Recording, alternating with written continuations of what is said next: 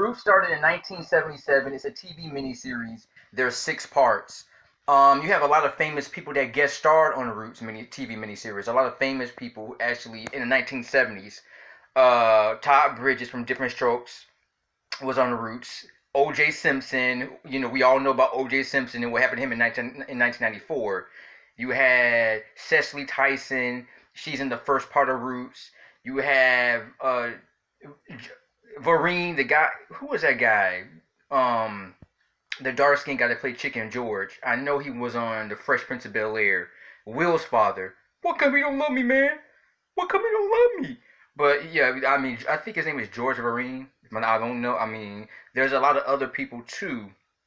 Um, the man who played on the Jackson Five movie. Remember that 1992 movie where a documentary about uh, Michael Jackson's life? The father plays um, Kizzy's boy. Kizzy's boyfriend is played by the guy who was in that movie. Um, I don't even remember. I know Michael Jackson's. He made a movie in, in the early '90s. You all know who I'm talking about. There's also a lot of uh, a, a lot of other famous people who guest star. The guy from the Waltons played the white angry white slave catcher. You know the the the annoying, uh, angry, violent on the ship. You know the guy from the Waltons, the white guy, the white the father from the Waltons, the white guy.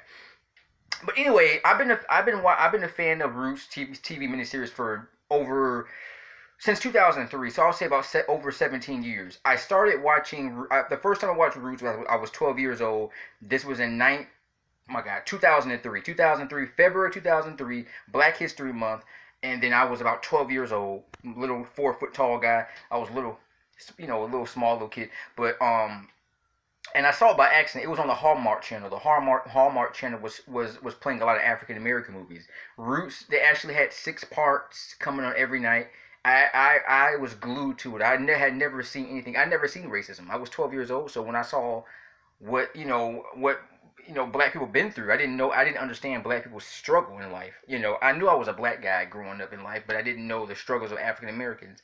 You know, I didn't know the history. This this the, the six part miniseries describes what African American men and women went through in those times back you know back in the 16 1700 1800s it was hell you know they went through a lot you know, black men were abused, humiliated. Black women were raped, uh, mistreated, neglected. You know, they would have to be out there picking cotton. But anyway, I saw, um, I first saw Roots, um, the TV miniseries, six part on the Hallmark channel, which is very edited. They edited out. it was uncut, uncut. I'm gonna say I can't say edited. It was uncut. Um, the, the first part one is very very very emotional you at the beginning you see a lot of african you see african women walking around and then you see it's nudity it has a lot of nudity you see you know boobs hanging out black women you know it all it's a lot of nudity then you see Cicely tyson who is kunta kinte's mother she starts giving birth making these strange noises. It's very very uncomfortable very awkward and very disturbing. But a lot of african you know it, i guess a lot of african women back in those times had you know had had you know were, were didn't have we didn't have doctor you know there there was no doctors. So a lot of black um, African women would have to give birth to the babies by themselves you know um you know back then there were no doctors doc, doctors for pregnant women. But uh, she gives birth to she calls him Kunta Kinte Kunta Kinte grows up I think he's about 15 16 he does manhood training um he's Kunta Kinte is very is not shy. He's very extrovert. He's very outgoing, confident, manly, fearless. You know, competitive. He doesn't give up. He, he just keeps going at it, hardworking. He, you know, he's one of those guys who's gonna be the, you know, the the, the king of Africa.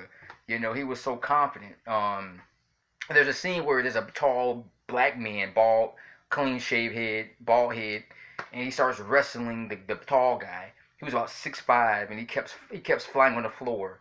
Um, manhood training. They they teach, and this this is true. Uh, in Africa, they teach by the time the the boy hit reach maturity, puberty, by 15, 16, by the time he reaches the age of 15, 16, he's a man. You know, he has the body of a man. He has the voice of a man. You know, he has feeling sexual urges like a man. Manhood training. You know, 15, 16.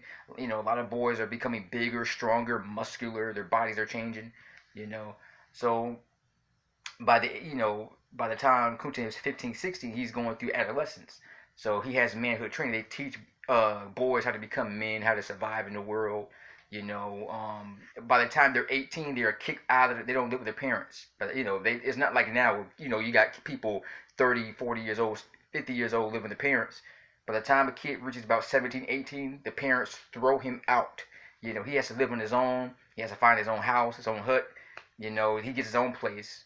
Um, you know, his mother tries to protect him, but he tells he tells his mother, uh, a woman should not tell a man what to do. He has a pretty good life. Everything's going pretty good. He actually kills a lion. You know, his friend makes a bet with him that he can't, you know, can't get a lion. You know, he he kills a lion with a um slingshot. with a slingshot, he's. I mean, Kunta Kinte is the most confident guy you ever meet. Um, there's a scene OJ Simpson is in part one. He's OJ Simpson. You know, we all know OJ Simpson is a football player.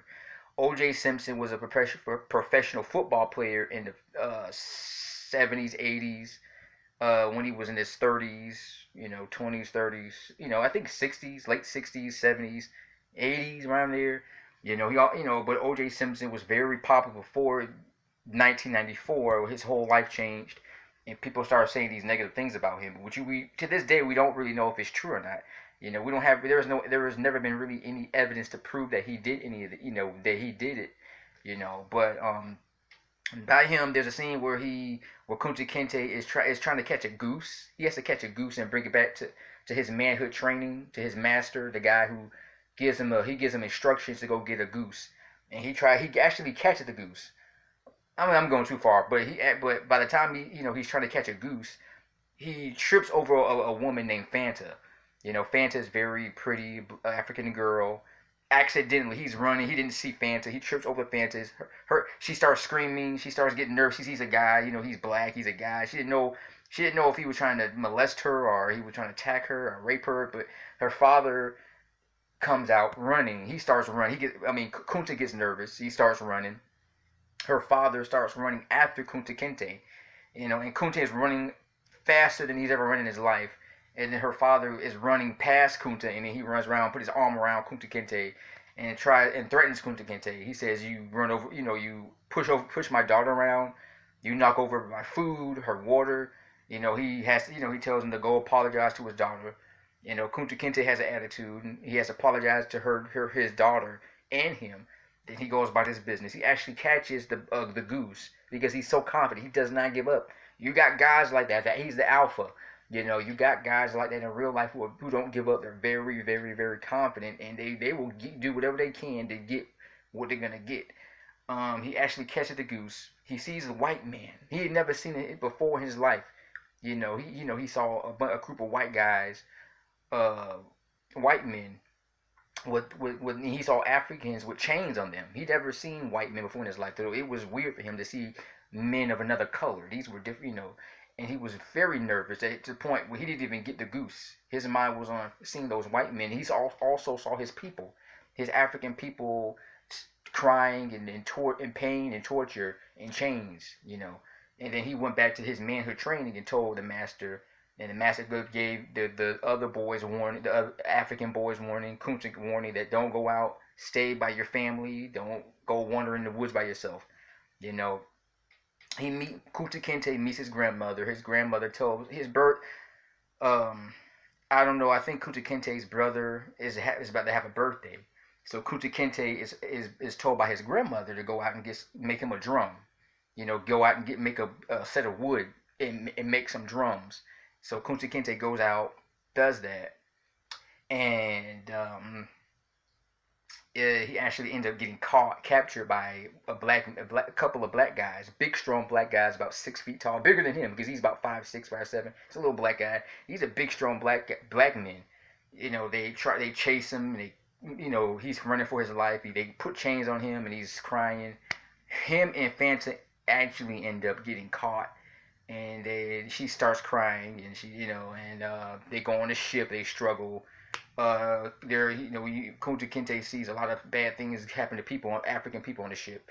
There's a, a fight on the ship between the Africans and the white slave catchers you know and you know there's a fight going on and the, and you know a white guy bombs the you know the ship you know, the people on the ship, you know that, and, and it's it's a very long story.